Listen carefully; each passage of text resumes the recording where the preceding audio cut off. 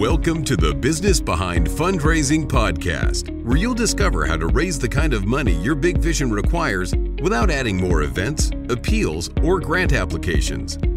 Learn how to stop blocking overall revenue growth and start attracting investment level donors with Sherry Quam Taylor. Hey guys, it's Sherry here. I have a really fun episode for you today. I was introduced to Arlene a few months ago and have been fangirling her ever since. So when I talk to other consultants, sometimes there's like this moment where it's like, uh, oh, we run our businesses the same. And uh, I know there's a lot of us nonprofit consultants, but there was something about Arlene where we were back and forth like, me too, me too. Oh, yeah, really, me too.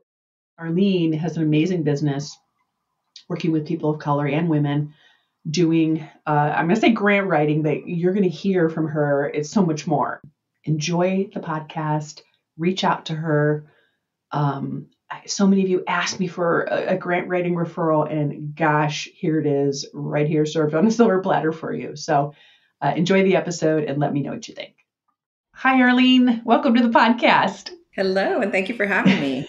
glad, glad you're uh, here. And I, I, um, I love that I booked this uh, when our children have like one foot in a car going to college and all the things, and then we added this to our our plate. So um, thank yeah. you, thank you for doing that. Make it more interesting, why don't you? yeah, just add it to the top. Oh my goodness. Okay, so I've been excited to have you on. Um, you know, one of the reasons is because I feel like we kind of are the same person when it comes to growing our businesses. And like immediately I felt like this, oh my gosh, um, I want to link arms with her and, and, and do this together. Um, so I just love for you to lay the groundwork. Um, tell us like how you've landed where you are today. Uh, and that'll set us up for the rest of our conversation. Sure. Well, I had no intention of working as a grant writer, mm-hmm. owning a business or working in the nonprofit space, but here I am. That's um, where our story starts similar. Yeah. yeah. So, my background is actually biomedical sciences. So, um, I started off my career uh, working for a research institution. Um, and in that process, had some wonderful, wonderful bosses that really encouraged me to go back to school after my undergrad and, and go and pursue my PhD. So uh, we were also working with a woman um, from uh, the Health Science Center. I'm located in, in San Antonio, and she ended up would end up being my mentor for my PhD. Mm-hmm. Um, so it was a, a, natural transition. We had a project that was ongoing. So um, my focus was research, and that you know was what I wanted to do. So uh, in that capacity, um, you know, had peer reviewed um, articles that I was putting out, posters. Um, I have 10 US patents. So wow. full fledged scientist with a, lab coat and um, love it and all that kind of stuff. And, and then after I finished my PhD, I went to um, uh, get um, a position um, with the Army at, in a research institution. And so I did that for a couple of years. And then I became a program coordinator for one of the research departments there. Um, but it really just wasn't an environment that was very conducive to ha- being a young mom, which mm-hmm. I was at the mm-hmm. time. I gave birth to both of my babies while I get, was pursuing my PhD. Oh my gosh. Um, my second baby, I defended three days before I gave birth to him. so, so, Unbelievable. Yeah, yeah so I, I, like to file things on. Um, so anyway, um, and I, I, knew that I needed to transition my skill sets. There weren't a lot of opportunities for research here in San Antonio. Um, and so I went through a company that helped me with my resume, helped me with interviewing. But one of the things that they did was um, a skill assessment. And so when I took that skill assessment, one of the things that came to the, the top was grant writing. And I mm. didn't know who did this. So that was my first question. Yeah. Who does this and who do you do this for? And right. so, you know, they said, um, institutions of higher education, which I just came from. I wasn't, didn't want to go back to that. Um, you know, government. Uh, I was just working for the government, so I didn't want to go back to that. And then they said nonprofits, and I said, okay, that's where I think I might want to try it. Um, so went with uh, on my first interview, landed the job, and um, it was the best experience for me. So I worked for that nonprofit for four and a half years. Um, and uh, I wasn't sure if my skill sets were going to tra- transfer. I did really well in the science uh, area, raised about $189 million for various uh, research research projects, including um, I secured a grant for my PhD, which paid uh, my stipend, and it also paid my uh, mentor to have me in her lab, you know, with with supplies and things like that. And then I also secured a grant for my postdoc position mm-hmm. when I was with the Army. So, um, so I wasn't sure if it was going to transfer. I knew I was good in the science area, but yeah. I didn't know if it was going to apply to nonprofits. Turns out it did. So for that organization that I worked for for four and a half years, raised thirty five million dollars. Um, so I'm it transferred. Apparently, it transferred. Yeah, it transferred. Transferred pretty well. Oh my um, god! And that organization was just it was uh, just wonderful and uh, multi-state, so everywhere from Texas over to Florida. Um, and very collaborative. So we were constantly working with other nonprofits in these other yeah. cities. And it really gave me a lot of exposure to what the philanthropic space was like in those states. Um, and when you overlay that area with, you know, what is referred to as the opportunity index, how well a person does in life is determined by their zip code. Well, the other thing is that's for the individual, but I was mm-hmm. also seeing that for a lot of the nonprofits that we were working with and collaborating wow. with. And so, if they were led by women of uh, people of color or women, um, they tended to not do as well in terms of fundraising. Mm-hmm. Um, and that just really was curious to me. And it was um, what really planted the seed that I wanted to go out on my own. Um, and do the work that I'm doing for other organizations um, led by women and led by people of color. Um, and just make more of an impact. And so that's really why I started my business, Ascend Nonprofit and Business Solutions. Uh, you know, I love that moment. Uh, again, I just said, I just said when we talk, I, there's all these things like, oh, me too, me too. Um, I did have that moment also when I left my corporate career that I loved, and I thought, how? Wait, hold on, wait, how did I get over here in nonprofit? Um, but I will tell you, when I joined this nonprofit that was near dear to me, near and dear to me, and we started scaling the revenue quickly, there were these like aha moments of, oh, I've done this before. It might be a little bit different, but you know, kind of you're talking about you're talking about like was that a transferable skill? Um, it, it it was. You know, I had that feeling too, and thought I can. I loved that part of it where I, it, you know, built confidence in, in me. But I also feel like Arlene. I don't know if you felt like this. I also feel like the objectivity of not having grown up, if you will, in the nonprofit space was um, was like like like a big benefit to me because I didn't have all those misconceptions. Uh, I was like, wait, why would we do it that way? Like, why why wouldn't we spend money on this? Um, you know, and so I just I just felt like that was the biggest uh, freedom for me to think big and to think abundant and uh, really launch strongly into my business and and like just be really confident of doing things differently. Uh, I don't know if you had the same feeling of of uh, when you entered the nonprofit space. I, did absolutely. I felt that um, I, I, took pride in this, in the fact that I was an outsider, um, and that I had a different perspective. And so I think it also, you know, was a lot of why are we doing it this way? This is not how the the for profit area does this, and um, why do you think you have to continue to do it that way? And so uh, you know, even in working for that nonprofit, they were very much innovative and um, very out of the box thinkers because they were working with small businesses. Um, you know, that's their mission is uh, providing access to capital and business education. So you're working with a group that needs to be innovative, that needs to be, you know, forward thinking, that needs to be strategic.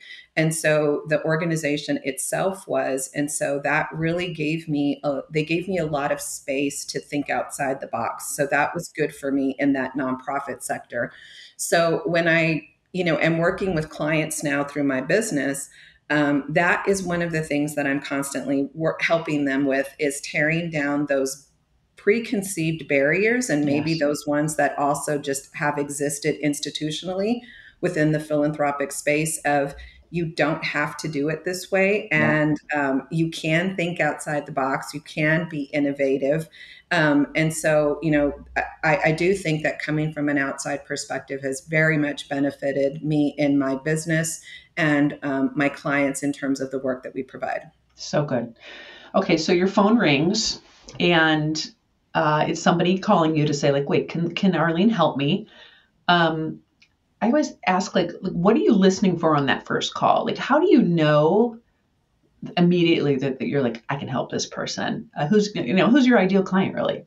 Our ideal client is really someone who is um, the leadership is innovative and strategic. Mm-hmm. Um, so what I'm listening for is desperation.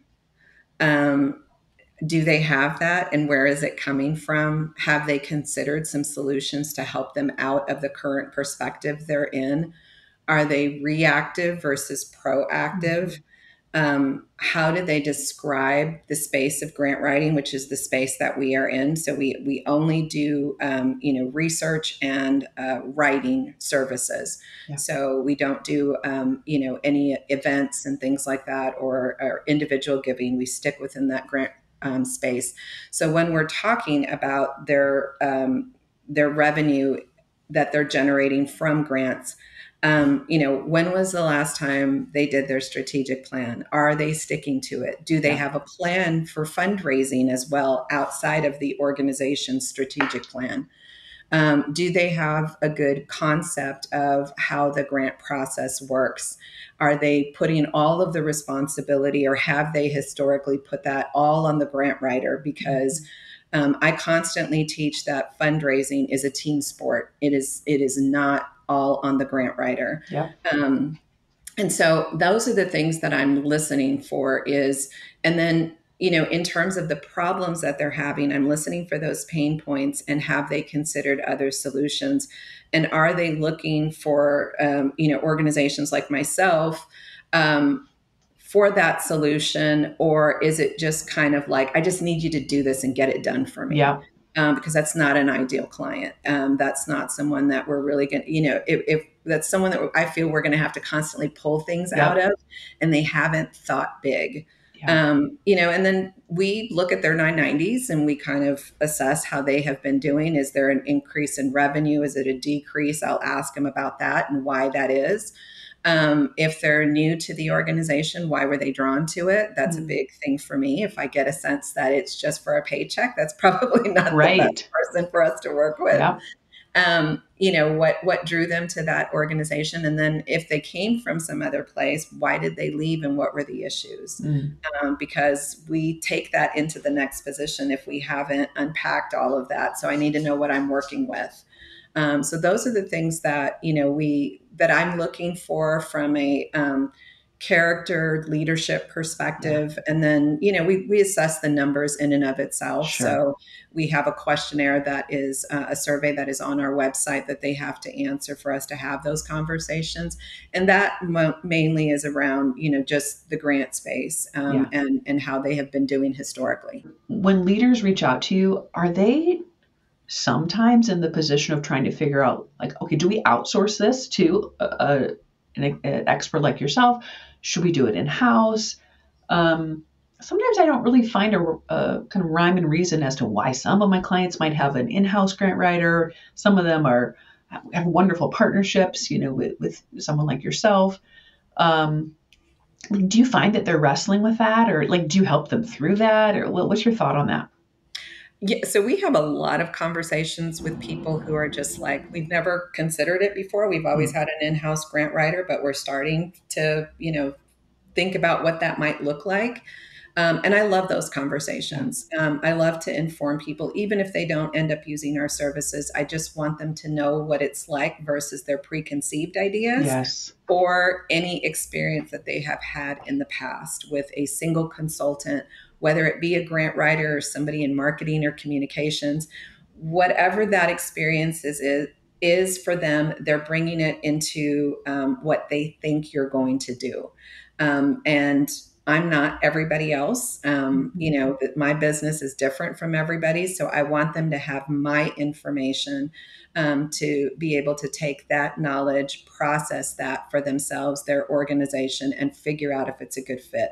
Yeah. So I love educating um, leaders who are just testing the waters to see what that would look like for them. Uh, I think it's important for them to have as much information as they make those decisions as mm-hmm. possible. And do you feel like um, maybe that has changed since 2020 or you know just these post 2020 years? Um, you know maybe i'll just ask twofold like has that conversation changed? And then what has changed for your business? Is that uh, you know mine has grown tremendously which i would have i would say like march of 2020 when everything went on pause i, I wouldn't have believed how busy i would even be today in, in 2023 um, and how much my business grew because I think it brought to the surface a lot of organizations who who leaned heavy into that time, and I loved that, and the, the abundant-minded leaders came to the top.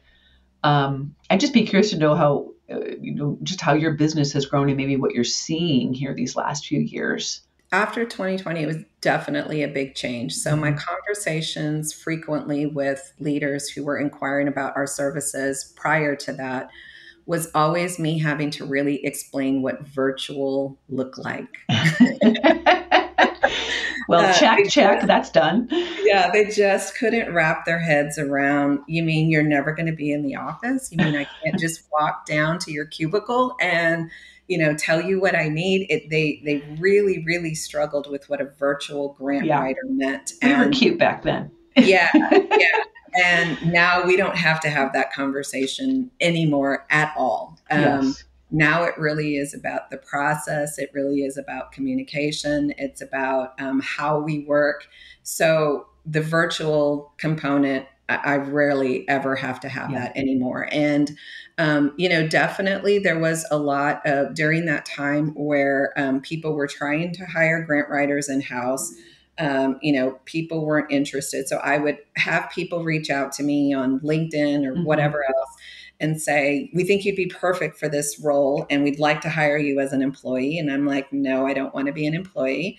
I will be a contractor. Well, that's not what we're interested in right now. Okay. So they go away for a certain period of time and then they'd come back and say, We'd like to revisit this yeah, because yeah.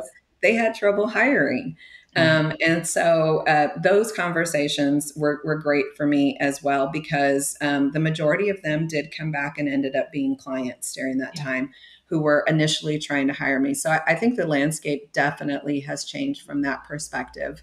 Um, now it's just more questions around processes, around strategy, and what that looks like for their organization and how we fit into that. Yeah. And how have you seen, you know, all the buzz right now is like, well, now our COVID funding is ending. And so now how do we replace those dollars this year? And um, are, are, are people coming to you, maybe now especially, saying, okay, well, hold on, uh, we, we had those extra dollars these last couple years, and now uh, where are those dollars? And we need to get real about it. Are you are you having those conversations? Um, a few of them, not mm-hmm. too much. I feel like um, the clients that we currently work with um, have been thinking about that and they Good. knew it wasn't going to be long term. So they've been planning for it and we've been having those conversations.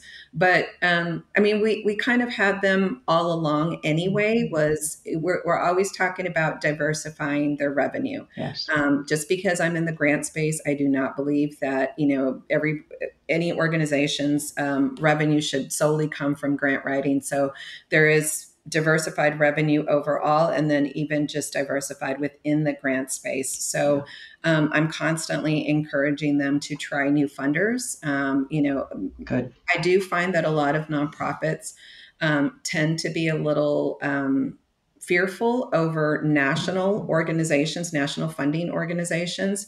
Um, and that is one of the things that i try and help them shift their mindset about um, and then the other space is really collaboration and looking at it very differently, because that mm-hmm. one of the big differences that I've also seen since 2020 is, you know, funders aren't interested in siloed approaches to yes. um, community problems. So many of our nonprofits really don't know how to collaborate successfully. They've they've been with this mindset of um, scarcity and fear around funding, and we're all in competition with one another. So I've really been working hard to change that and to help create collaborations around larger sources of funding, and that's one of the things that I work on with my clients.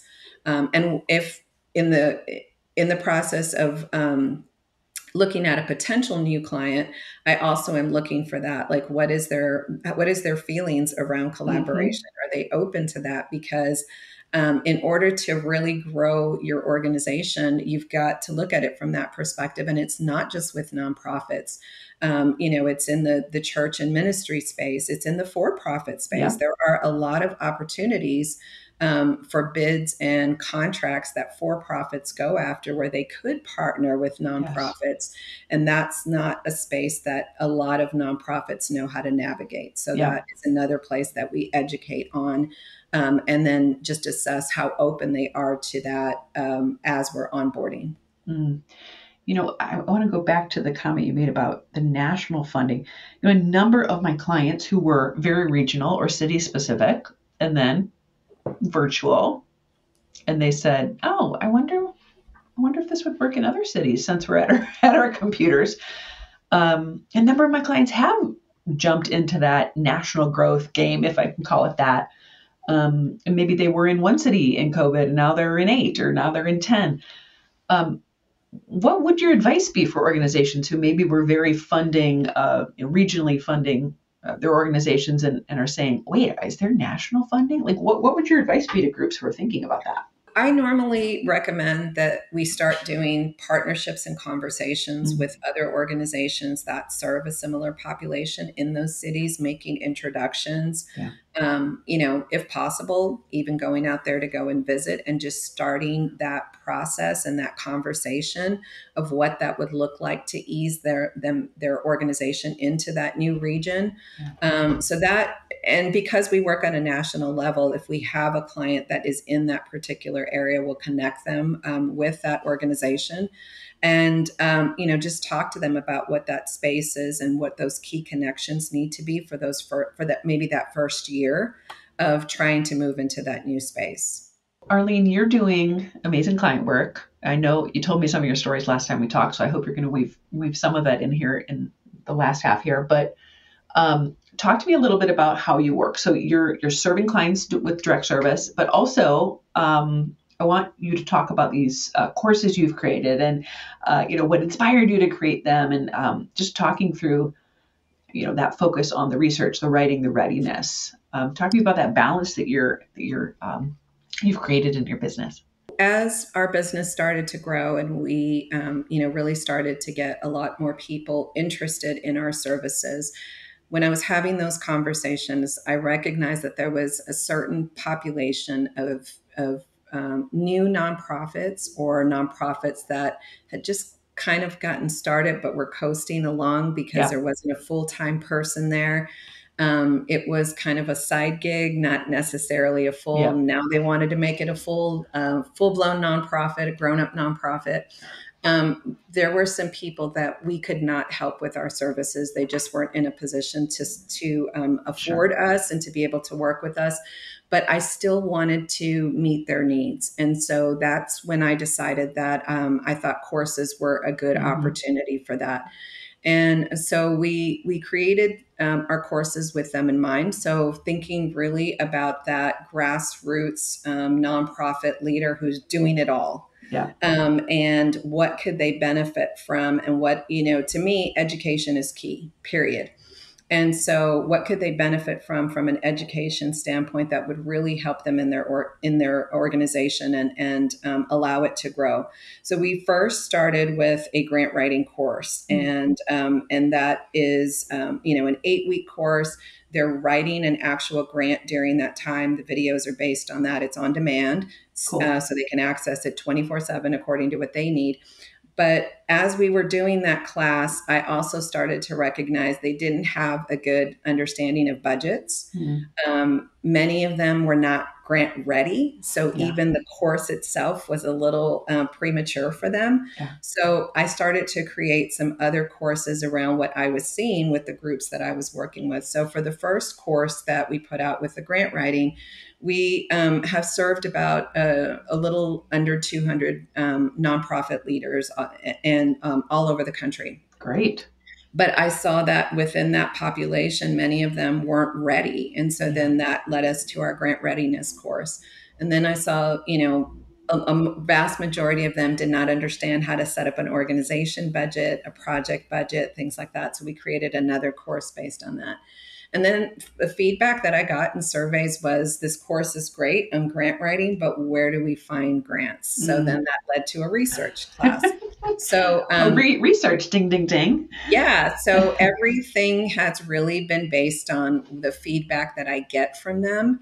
Um, and just trying to meet the needs. And we do have a certain number that will take the course and then become our clients once they reach a certain revenue. Yeah um, you know they they take it enough they take it and they learn enough to know they don't want to do it yeah.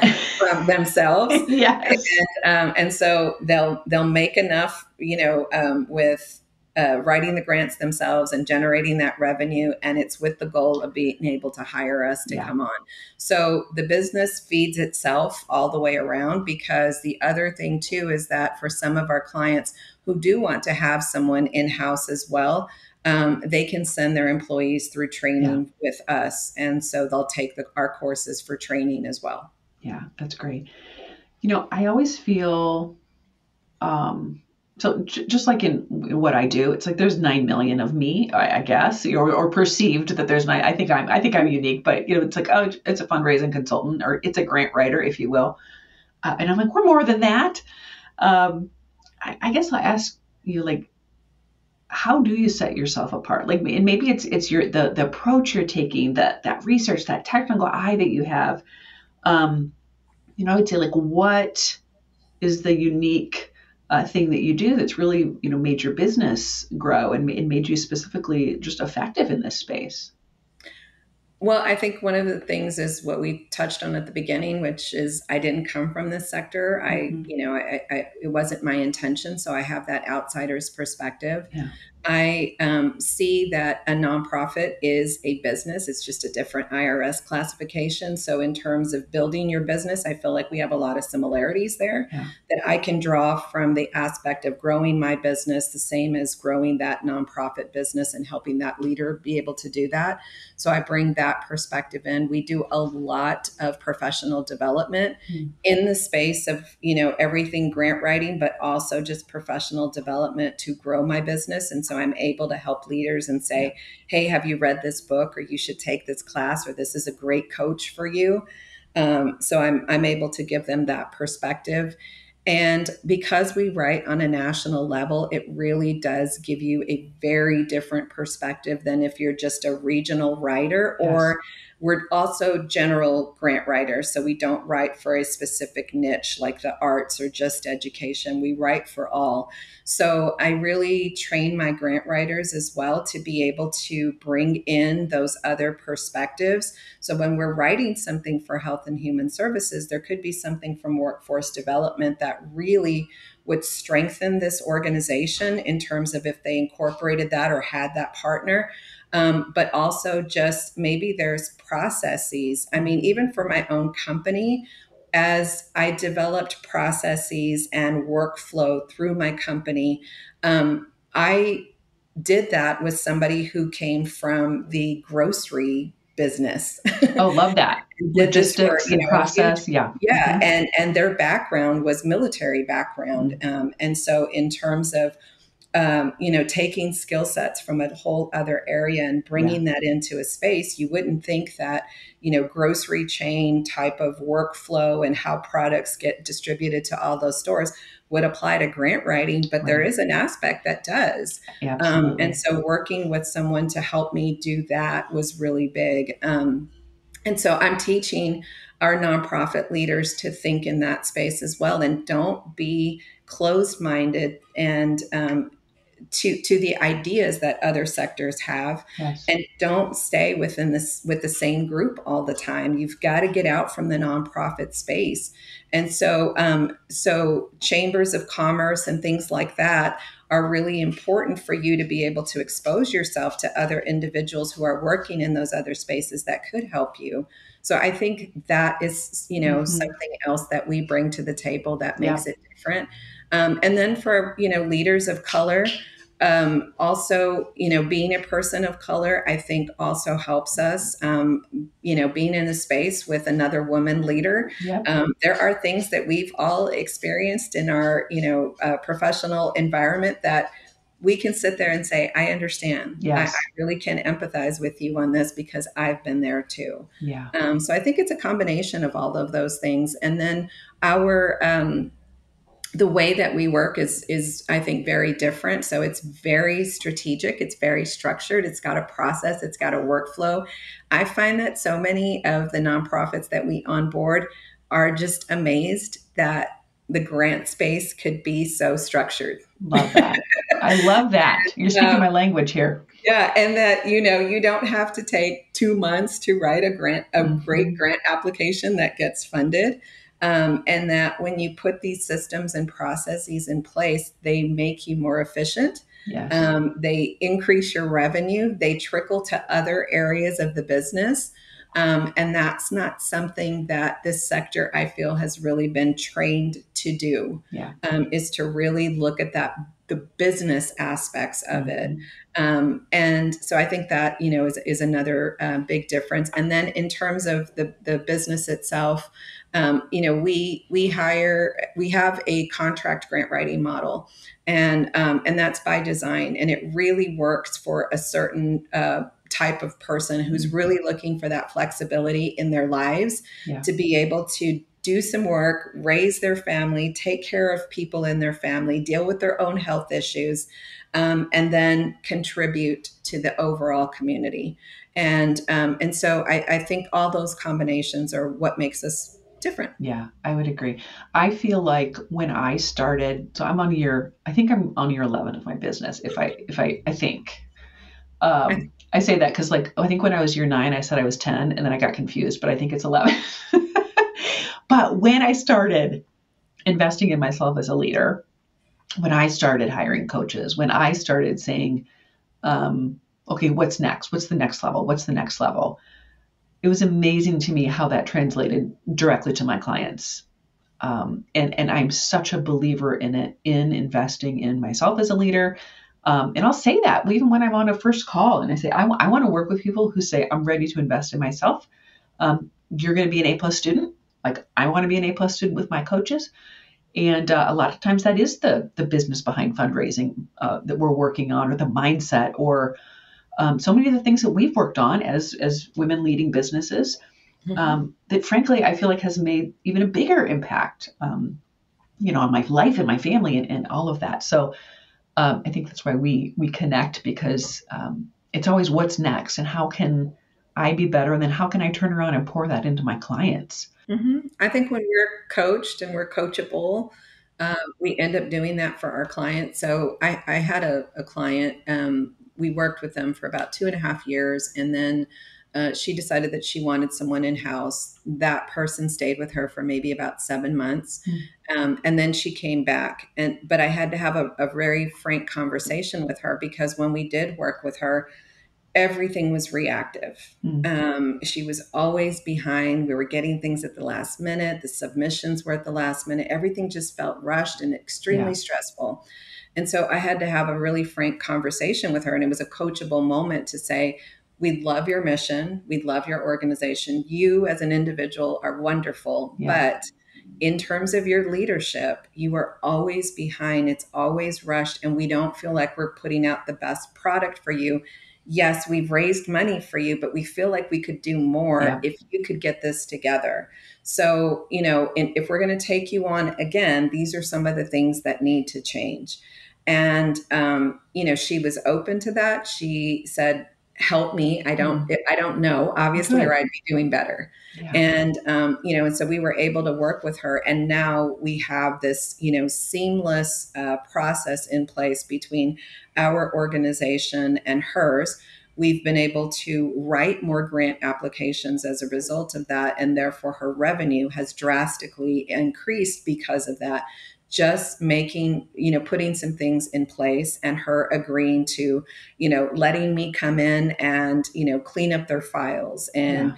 you know, uh, let her know what documents were really outdated and we need to put this in place. And then working with her on what a real strategy looks like and having her stick to that because yeah everything was a yes all the time. Even if mm-hmm. like you know a board member would send her a grant and say i think we need to apply. I didn't feel like it was a good one for her and she'd be like let's just apply. And i'm like we're not utilizing you know your time and resources in a good way by just taking on everything um, you know, part of it was she wanted to use me as that shield too with her, yeah. with her board. So I said, I'm fine to come yeah. in and come and talk to them. And this is the way we're going to do this. And this is more efficient and this works better yeah. for the organization. So when we did those things, you know, we, we helped to make her better as a leader. And then it, you know, it trickled over to the whole organization. You had to be honest with her, which I think sometimes it's like hard to do, but um, that's making her money that, that you are really a colleague to colleague like something mm-hmm. has to change here.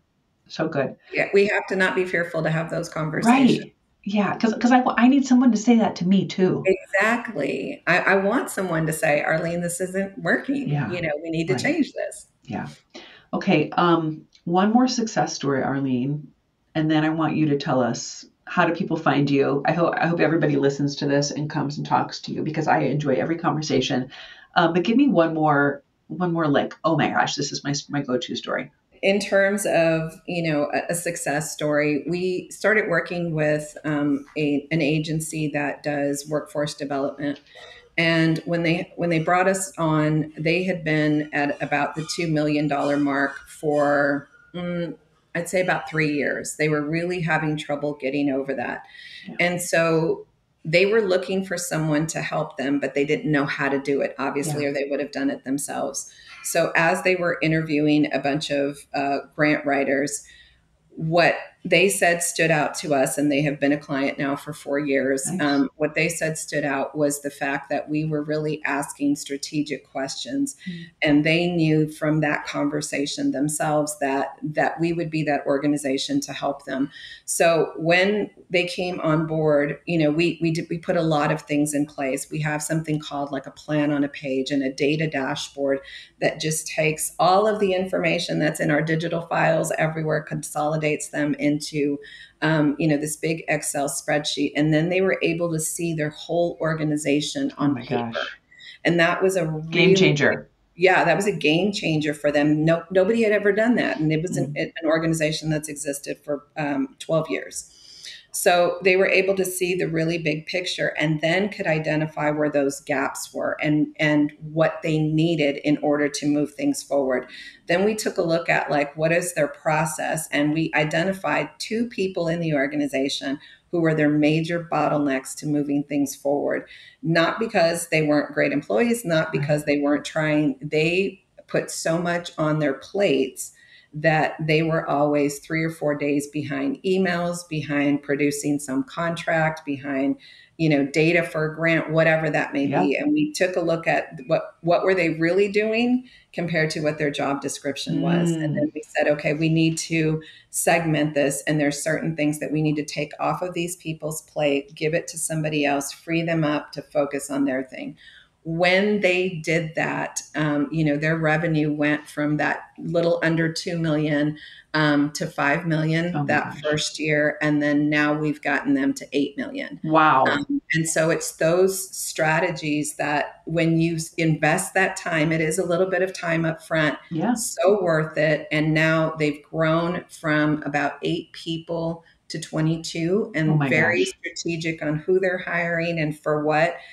everyone is not jack of all trades within the organization doing all the stuff. Everyone has a role and it's working out so much better for them. Congratulations. Um, and the, you know, board members that they're bringing on are a higher caliber with yes. better connections um, connections that really serve them, not just in terms of you know just funding, but connections to city council, connections to the county, connections to um, uh, institutions of higher education, and helping them to form those partnerships because they're in the workforce development sec- sector. Love that. So you know that has really, really been key for them.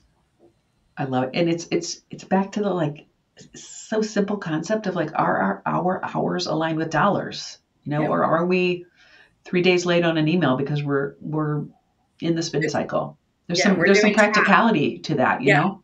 We're doing tasks that don't equate to that dollar, and yeah. and you know, yes, they need to get done, but not necessarily by certain people. Yes, so good. Okay, Arlene, how can people find you? Give us all the stats. Links, sure. Everything. So you can find us at www.ascendnbs.com. Um, we're also on LinkedIn. We are on uh, social media Facebook, Instagram under ascend at NBS. NBS.com. And um, you can also find me on LinkedIn, Arlene Siller. Awesome. Thank you, Arlene, for the conversation. Yeah, thank you.